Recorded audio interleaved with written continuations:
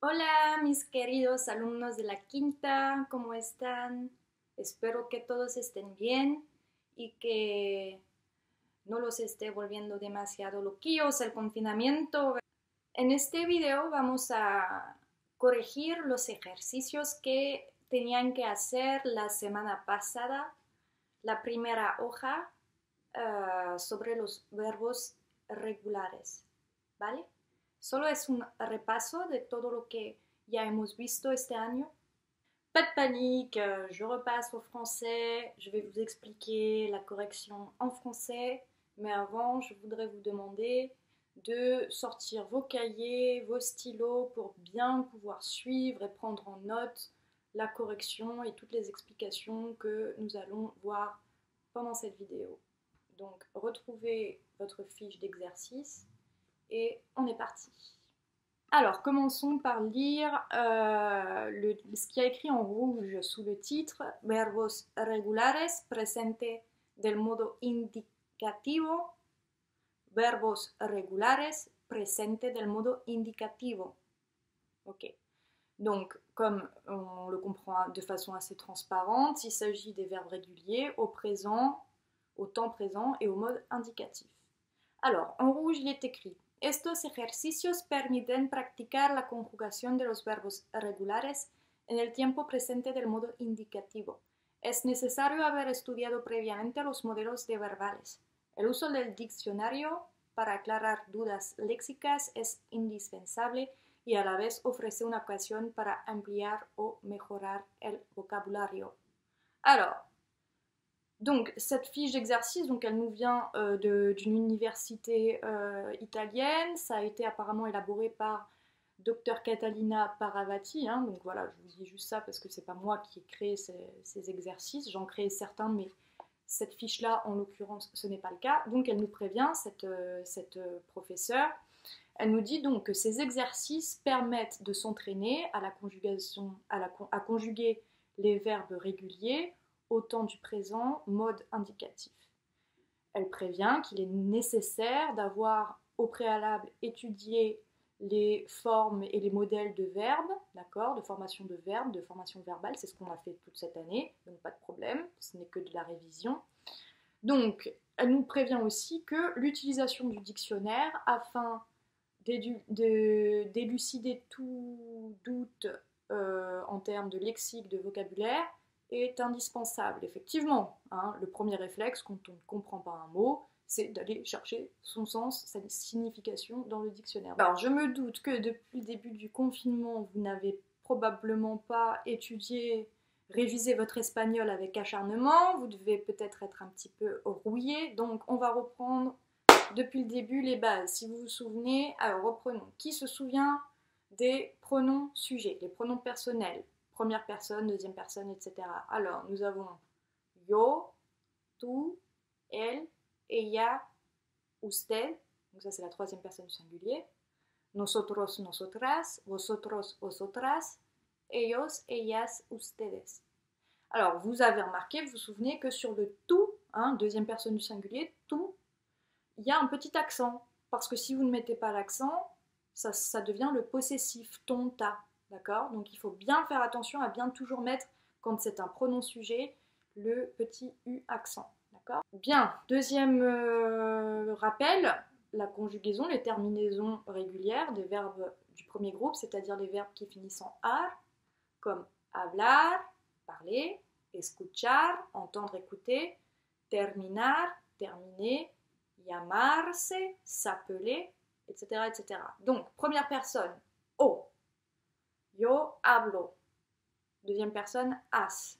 Tú hablas. Troisième personne, elle, ella, usted, habla, a. Première personne du pluriel, donc nosotros, nosotras, hablamos. Vosotras habláis. Et ellos hablan. Donc o, as, a, amos, ais, an. Ok, c'est bon, on a bien remémoré. Alors, on passe à l'exercice. Premier exercice. Grupo, primer grupo, AR. Formas regulares de primera conjugación.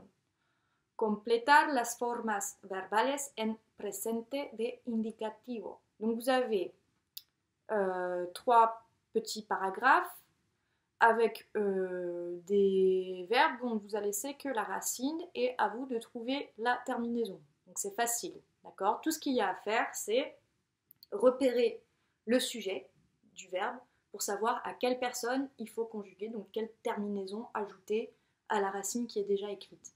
Alors, première phrase. Todos los días, Carlos y yo caminamos.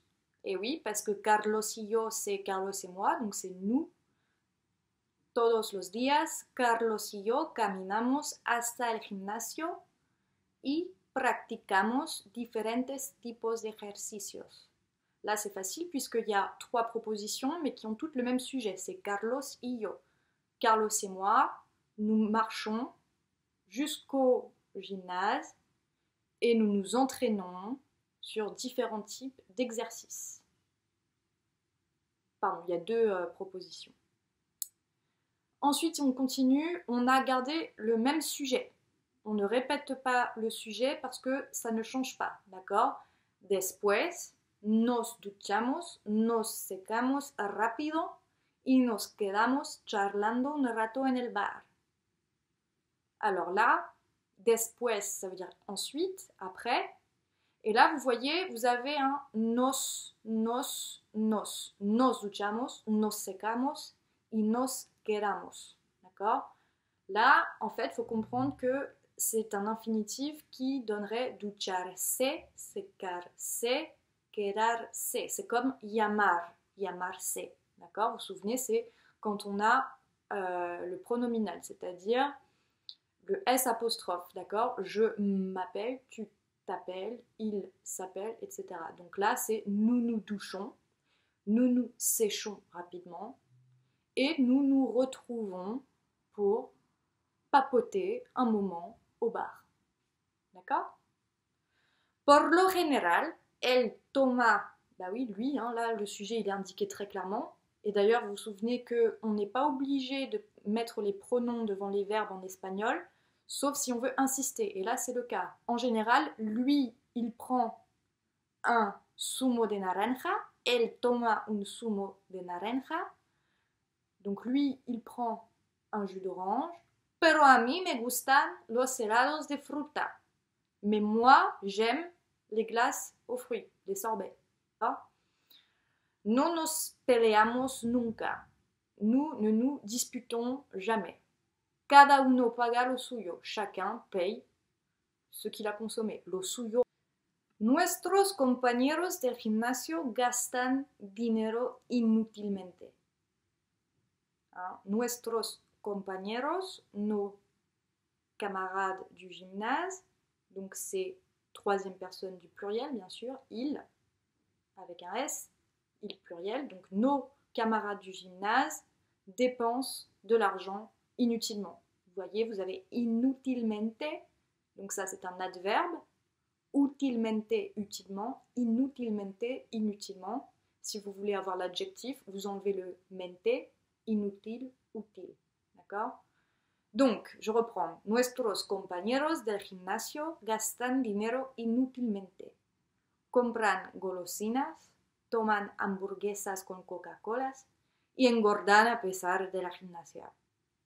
Donc, nos camarades dépensent de l'argent inutilement.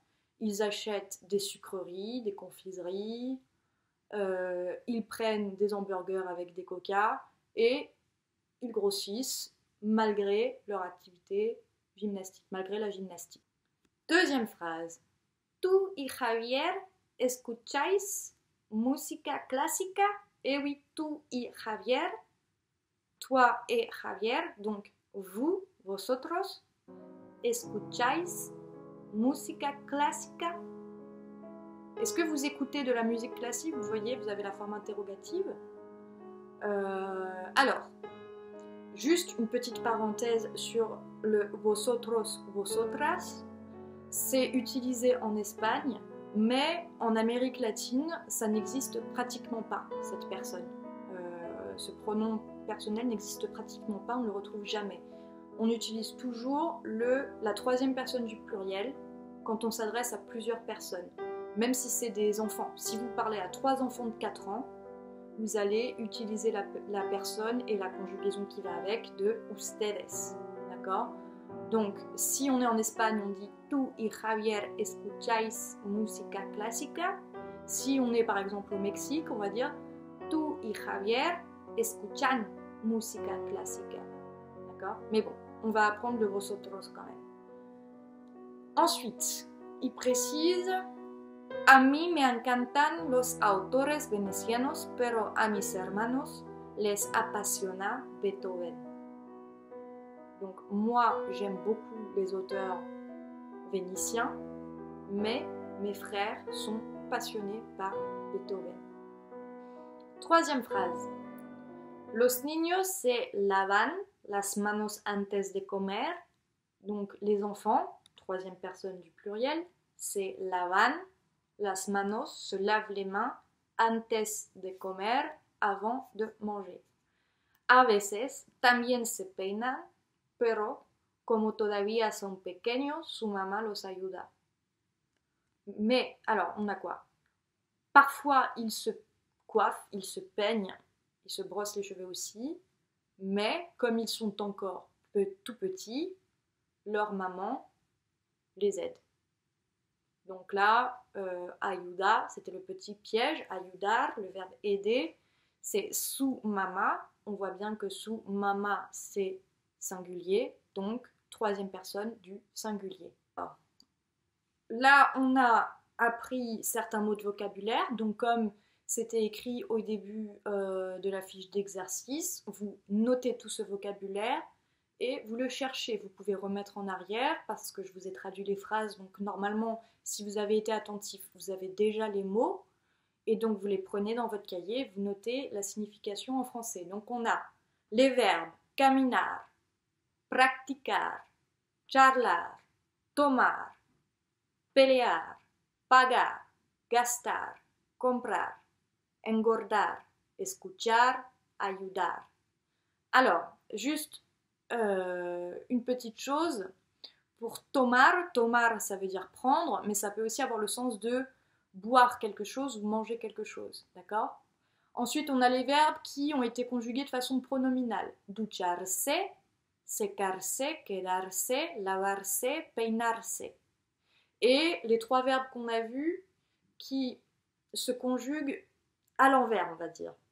Gustar, encantar, apasionar. Alors, je reviens un petit peu plus en détail sur ces trois verbes qu'on a vus. Gustar, encantar et apasionar. Ce sont des verbes qui se conjuguent un petit peu à l'envers, vous allez comprendre, je pense, comment ça s'emploie. Gustar, ça a le sens de aimer, apprécier, plaire. D'accord? Donc en français, on dit quelque chose me plaît, cette musique me plaît. D'accord? Je suis peut-être le sujet dans le sens euh, de la phrase, mais grammaticalement, syntaxiquement, le sujet de la phrase, c'est cette musique. C'est cette musique qui me plaît à moi, et moi, je suis l'objet grammatical de la phrase.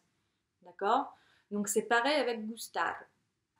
Encantar, ça veut dire aussi... Euh, alors, littéralement, ça peut ressembler à enchanter, mais c'est vraiment apprécier énormément, adorer quelque chose, prendre beaucoup de plaisir à faire quelque chose. Et appassionar, c'est être passionné de quelque chose. D'accord?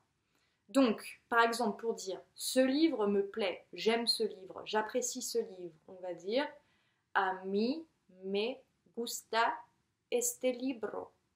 D'accord? On conjugue le verbe gustar comme en français, plaire avec ce livre. Bon, là c'est facile parce que les deux, euh, les deux l'objet et le sujet sont au singulier, donc il n'y a pas beaucoup de questions à se poser. Mais si on dit ces chansons me plaisent, a mí me gustan estas canciones. D'accord? Si on dit par exemple ce livre te plaît à toi, a ti te gusta este libro. A ti te gustan estas canciones. Les contes de fées enchantent les enfants. Les enfants adorent les contes de fées. A los niños les encantan los cuentos de hadas. ton cadeau nous fait plaisir. Nos encanta tu regalo. C'est nos, nosotros, à nous, mais c'est l'objet de la phrase. Donc on, conjugue encantar au singulier puisque c'est le cadeau, un cadeau. Tu regalo. Ton cadeau nous a fait plaisir. Nos encanta tu regalo. Petit peu de vocabulaire, on a vu un rato, c'est un moment, un instant. Sumo de naranja, le jus d'orange. Helados de fruta, des sorbets, des glaces aux fruits. Golosinas, des gourmandises. Autores venecianos, des auteurs vénitiens. Vénitianos, c'est euh, un adjectif de nationalité, enfin non pas de nationalité, mais c'est un gentilé, donc c'est les gens de Venise, donc les Vénitiens, donc de euh, les personnes qui viennent de Venise, los venecianos.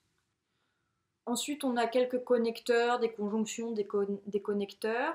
Donc, on a a pesar de, ça veut dire malgré, malgré euh, votre activité sportive, vous grossissez puisque vous vous gavez d'hamburgers et de coca. D'accord? Antes de, c'est avant de. Donc, vous avez antes et después, c'est les deux antonymes. Antes avant, después après.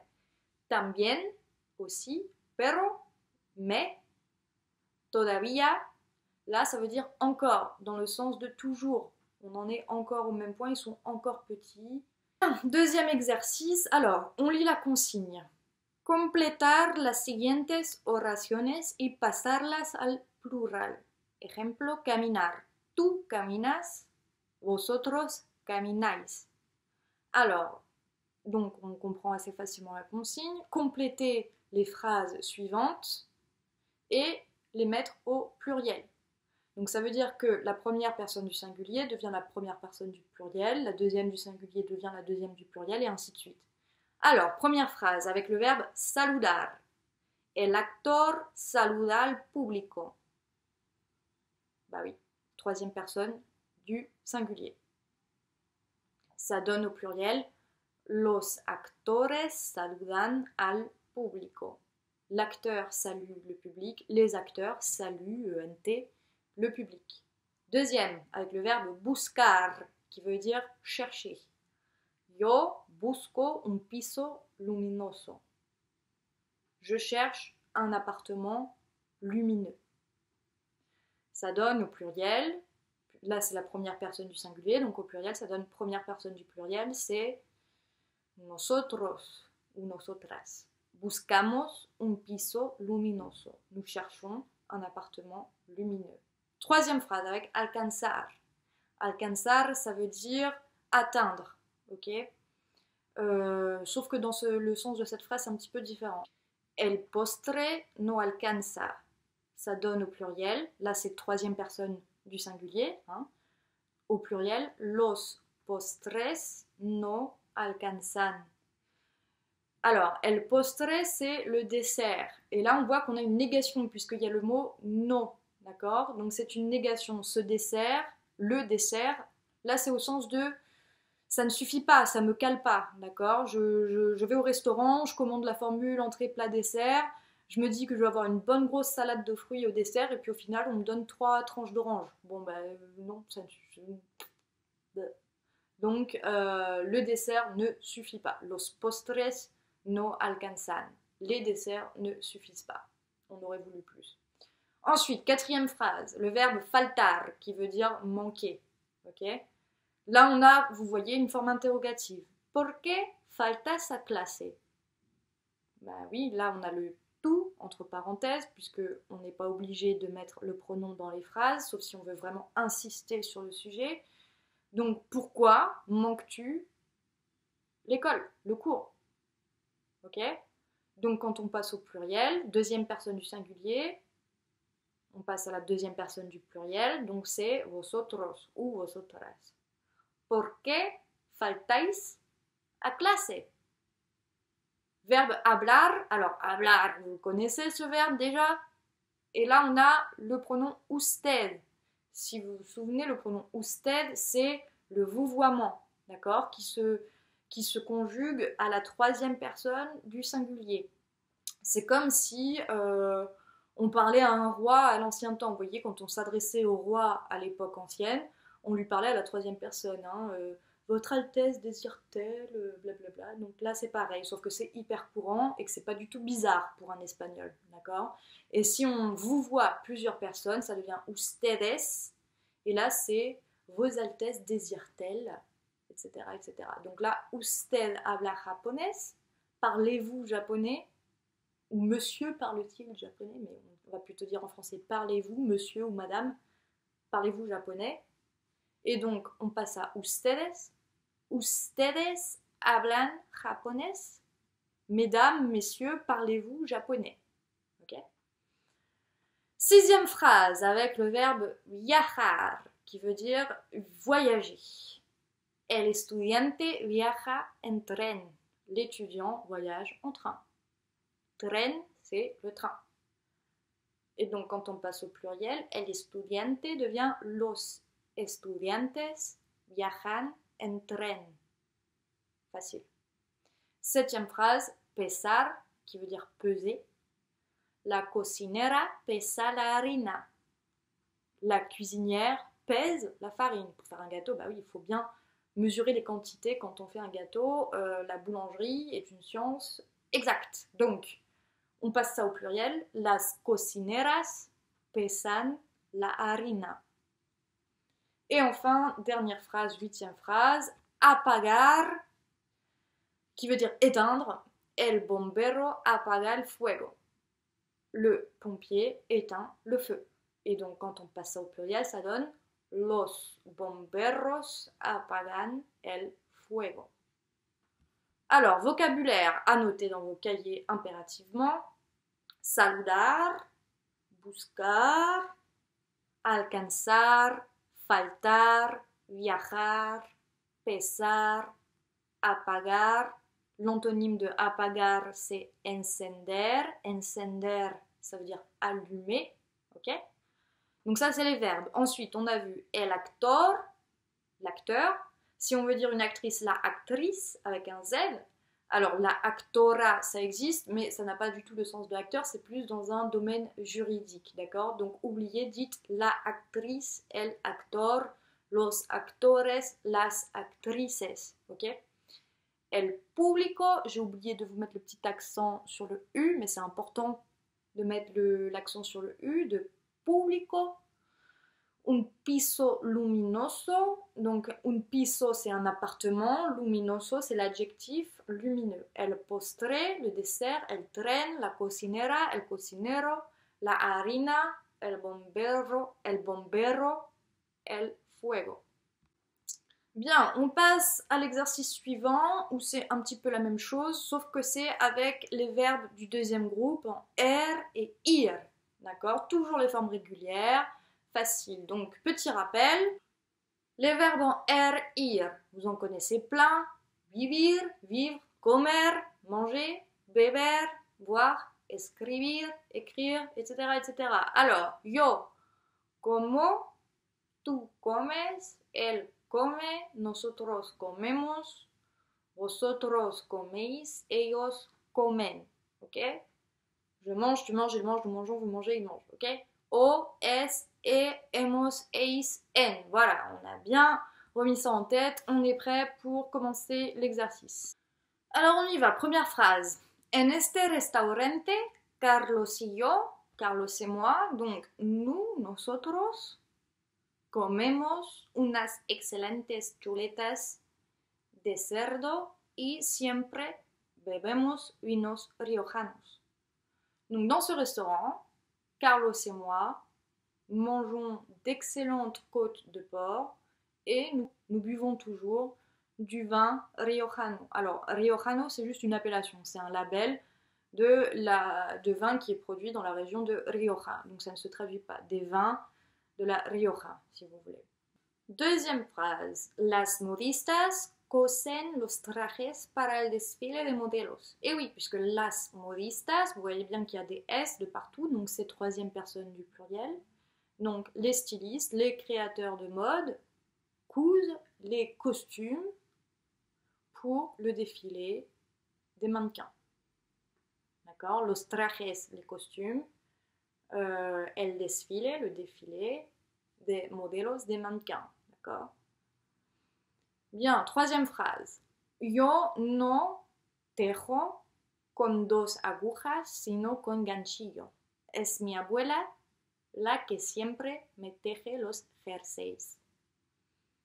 Alors, moi, je ne tricote jamais. Hein. Tejer, c'est tricoter, tisser, plutôt tricoter, d'accord? Avec deux aiguilles, aguja, una aguja, c'est une aiguille, donc je ne tricote jamais avec deux aiguilles, mais plutôt au crochet, el ganchillo, le crochet. Es mi abuela, vous vous souvenez de l'arbre généalogique, la abuela c'est la grand-mère, c'est ma grand-mère qui me tricote toujours mes pulls. Quatrième phrase. Señora, madame, si su niño, si votre enfant tose mucho y no come adecuadamente, si votre enfant tousse beaucoup et ne mange pas suffisamment, usted comprende que no está bien de salud. Vous comprenez qu'il n'est pas en bonne santé. La salud, c'est la santé. Et là, vous voyez, on a le cas du vouvoiement. Donc, señora, madame, si su niño, d'accord, le possessif, sous votre enfant tous beaucoup et ne mange pas assez, usted, vous comprenez, comprende que no está bien de salud. Cinquième phrase. El dulce de leche solo se vende en tiendas de productos importados. Alors, le dulce de leche, c'est euh, une friandise euh, typique. C'est un espèce de petit caramel euh, au lait, d'accord? Donc, le dulce de leche ne se vend que solo, uniquement, seulement dans des boutiques de produits d'importation. Sixième phrase. Donc on vous donne entre parenthèses le contexte, en una fiesta, pendant une fête. Chicas Les filles Os apetece una cerveza? Et oui, là vous voyez qu'on a le verbe apetecer, et c'est comme pour tout à l'heure ce qu'on a vu avec le verbe gustar, ça vous donne envie? Est-ce que une bière, una cerveza, vous donne envie? ¿Os apetece una cerveza? Veo que vosotras no bebéis nada. Je vois que vous ne buvez rien. Septième phrase. Margarita no escribe desde el mes pasado. Qué raro. Marguerite n'écrit pas depuis le mois dernier. Comme c'est bizarre. Huitième phrase. Mis amigos viven, hein, mes amis, donc troisième personne du pluriel, mis amigos viven en Salamanca, pero de a poco recorren toda España. Mes amis vivent à Salamanque, mais petit à petit, ils parcourent toute l'Espagne. No conocen todavía Andalucía, pero leen mucho sobre la cultura árabe y comprenden su espíritu y su música. Ils ne connaissent pas encore l'Andalousie, mais ils lisent beaucoup à propos de la culture arabe et ils comprennent son esprit et sa musique. Neuvième phrase, donc on vous donne le contexte en, italique. En el aeropuerto, dans l'aéroport. On a le verbe salir. Alors le verbe salir, il n'est pas tout à fait régulier partout, puisque la première personne c'est salgo comme tener, tengo, salgo. Mais là, heureusement, ce n'est pas la première personne du singulier yo, mais c'est el avión, d'accord? Donc troisième personne du singulier. De donde sale el avión para Caracas? D'où part l'avion à destination de Caracas Caracas qui se trouve au Venezuela. Eh. Usted cree que ya abren el embarque o todavía debemos esperar? Vous croyez que ils ouvrent l'embarquement ou bien devons-nous attendre? Esperar, ça veut dire espérer, mais ça veut aussi dire attendre. Et enfin, dernière phrase, Marcela reparte caramelos y bombones entre sus compañeras. Marcela partage des caramels et des chocolats avec ses camarades, ses copines. Donc, petit vocabulaire. On a vu chuleta de cerdo, donc c'est les côtes de porc. Donc, euh, si c'est haram pour vous, vous pouvez dire euh, alas de pollo, par exemple, des ailes de poulet, ok. Ensuite, on a el modista, la modista, donc le styliste, la styliste, el traje, le costume, el desfile, le défilé, la aguja, l'aiguille, el ganchillo, le crochet, el dulce de leche, en général on ne traduit pas parce que c'est vraiment quelque chose de typique. La salud, c'est la santé, la tienda, la boutique, le magasin, la cerveza, la bière. Ensuite, on a vu le verbe, les verbes tejer, ça veut dire euh, tricoter, coser, coudre, toser, tousser, recorrer, parcourir, deber, devoir, abrir, ouvrir, esperar, attendre ou espérer. Ensuite, on a vu d'autres petites conjonctions ou euh, connecteurs. Donc, siempre, nunca, ça c'est des adverbes. Siempre, toujours, nunca, jamais.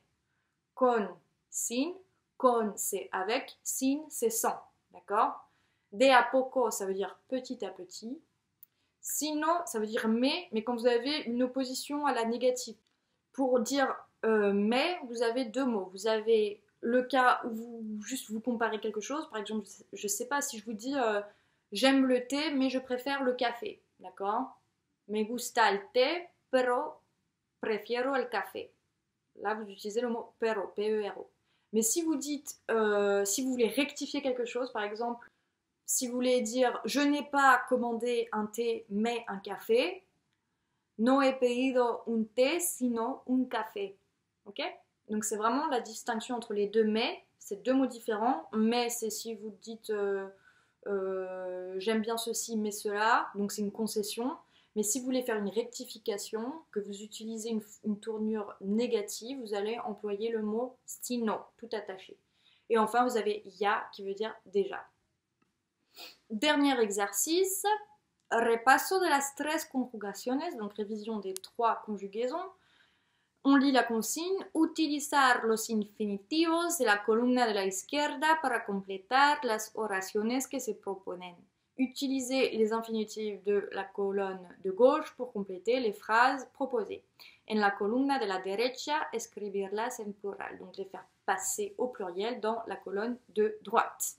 Alors, Infinitivo, on a comprender qui veut dire comprendre. Tu no comprendes portugués, vosotros no comprendéis portugués. Donc ça c'est l'exemple facile. Ok. Alors, crear qui veut dire créer. El poeta crea un soneto original. Le poète crée un sonnet original. Los poetas crean unos sonetos originales. Donc là, on vous précise bien que c'est le sujet qui doit passer au pluriel, mais des fois, pour que ça garde un sens, il faut aussi mettre l'objet au pluriel, sinon ça n'a pas de sens. On ne va pas avoir six poètes ensemble qui écrivent un seul sonnet. D'accord? Donc los poetas, les poètes écrivent des sonnets originaux. D'accord? Cobrar, qui veut dire toucher une somme d'argent, être payé euh, ou facturer, faire payer quelque chose. D'accord? El empleado cobra su sueldo l'employé touche son salaire. Los empleados cobran sus sueldos. Là, pareil, on a aussi mis au pluriel l'objet, les salaires, parce que bien sûr, il n'y a pas un seul salaire pour 12 employés. Chaque employé a son salaire. Vender. Yo vendo un coche usado. Je vends une voiture d'occasion. Donc, là, on peut garder euh, l'objet au singulier, d'accord? Vendemos, nous vendons un coche usado. Bah oui, si c'est un couple qui vend la voiture du, foyer, ça peut très bien être une voiture qui est vendue par le couple, les deux personnes, par exemple. Euh, ella cree en tus palabras. Elle croit en tes paroles. Ellas creen en tus palabras. Elle, au pluriel, croit, en tes paroles. Repartir, ça veut dire partager ou distribuer. El cartero reparte la correspondencia. Donc le facteur euh, distribue le courrier. Los carteros reparten las corre- la correspondencia. Ensuite, on a bajar, qui veut dire descendre. Tu bajas en ascensor, tu descends par l'ascenseur. Si on passe au pluriel, ça donne vosotros ou vosotras, donc bajáis en ascensor. Ensuite, abrir, qui veut dire ouvrir. Este banco abre a las 9 de la mañana. Cette banque ouvre à 9h du matin. Estos bancos abren a las 9 de la mañana. Destejer. Donc on a vu tout à l'heure que tejer, ça veut dire tricoter. Et là on a le préfixe de, donc c'est comme en français. Faire, défaire. Tricoter, détricoter. D'accord? Donc las abuelas, euh, pardon, la abuela desteje un jersey. Las abuelas destejen unos jerseys. Bah oui, parce qu'on va pas avoir pareil quatre mamies qui sont à quatre sur un pull, d'accord? Donc non, chacune, on imagine que chacune a son pull, donc unos jerseys. Et enfin, golpear, qui veut dire frapper. El baterista golpea el platillo. Le batteur frappe la cymbale. Los bateristas golpean los platillos. Les batteurs, les percussionnistes frappent les cymbales. Voilà, on a fini cette première fiche d'exercice. Donc notez bien le vocabulaire. El poeta, le poète. Un soneto, un sonnet. El sueldo, le salaire. Un coche usado, une voiture d'occasion. Una palabra, un mot, une parole. El cartero, le facteur. El banco, la banque. El baterista, le batteur, le percussionniste. El platillo, la cymbale. Ensuite, on a le verbe cobrar. Cobrar, ça veut dire toucher de l'argent, euh, faire payer quelque chose. Bajar, descendre. L'antonyme, c'est subir. Donc attention, c'est un faux ami. Subir, ça ne veut pas dire subir, ça veut dire monter. Par exemple, monter dans le bus ou monter, euh, monter au ciel, ou peu importe, d'accord? Subir, c'est monter. Golpear, frapper. Crear, donc créer. Creer, croire. Et attention c'est. Oui, voilà. Créar, c'est créer, comme dans création. D'accord? Et créer, c'est croire, comme dans la croyance. Ensuite, on a vender, vendre, et répartir, distribuer, répartir. Voilà, on a fini avec euh, cette petite fiche euh, d'exercice. J'espère que la correction a été assez claire pour vous. Je vous laisse bien sûr à l'écran quelques instants, vous pouvez mettre pause euh, les différentes pages corrigées pour que vous puissiez bien prendre le temps de prendre la correction. Et moi, je vous dis hasta la próxima, cuídense mucho, adiós. ¿Qué